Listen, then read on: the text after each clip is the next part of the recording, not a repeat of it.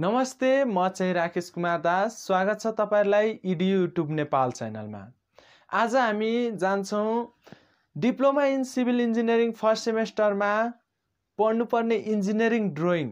आएको त्यो कसरी गर्छौँ र त्यो इन्जिनियरिङ ड्रइङमा हामी के के गर्नुपर्छ के के ड्रइङ गर्नुपर्छ त्यसको बारेमा जान्छौँ। र यो भिडियोमा चाहिँ हामी इन्जिनियरिङ ड्रइङ गर्नको लागि के के सामानहरू चाहिन्छ त्यसको बारेमा जानकारी दिन गइरहेको छु। र अहिलेसम्म हाम्रो यो च्यानललाई सब्सक्राइब गर्नु भएको छैन भने च्यानललाई सब्सक्राइब गर्नुहोला र बेल आइकन क्लिक गर्नुहोला। र हाम्रो गुगल फर्म खुलिसकेको छ त्यो गुगल फर्म भर्नुहोला। र यो कोर्स जोइन गर्नको लागि तपाईँलाई एक रुपियाँ पनि पे गर्नु पर्दैन एकदमै फ्री छ।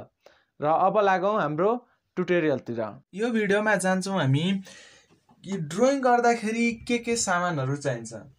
सुरुमा त एउटा चिल्लो सर्फेस भएको ड्रइङ टेबल चाहियो। त्यसपछि हामीलाई चाहिने भनेको एउटा A three paper A three. अनि त्यसपछि हामीलाई चाहिने भनेको पेन्सिल।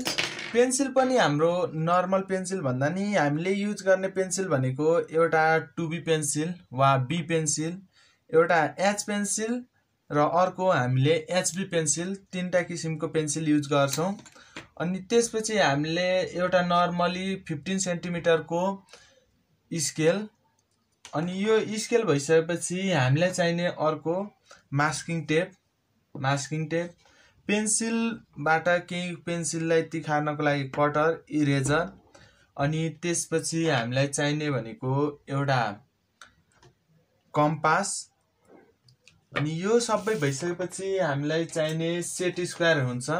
सेट स्क्वायर जुन एउटा थर्टी टु सिक्सटी डिग्रीको र अर्को हाम्रो सेट स्क्वायर हुन्छ फोर्टी फाइभ डिग्रीको। यो दुईवटा सेट स्क्वायर चाहिन्छ।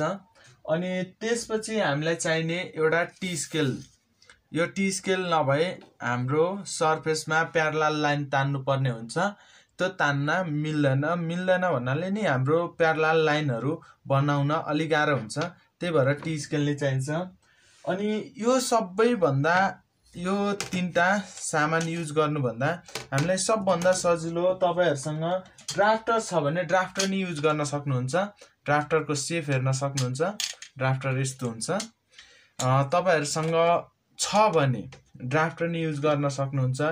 छैन भने यो सेट स्क्वायर र टी स्केलको युज गरेर हामी ड्रइङ गर्छौँ।